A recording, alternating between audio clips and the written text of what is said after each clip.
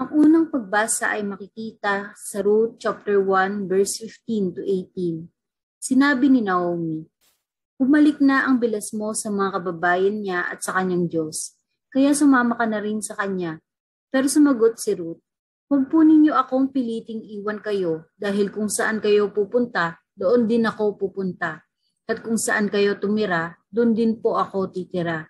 Ang mga kababayan nyo ay magiging kababayan ko rin, at ang Diyos nyo ay magiging Diyos ko rin. Kung saan kayo mamamatay, doon din po ako mamamatay at ililibing.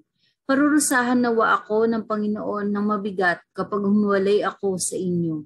Maliban na lang kung ang kamatayan na ang maghihiwalay sa ating dalawa.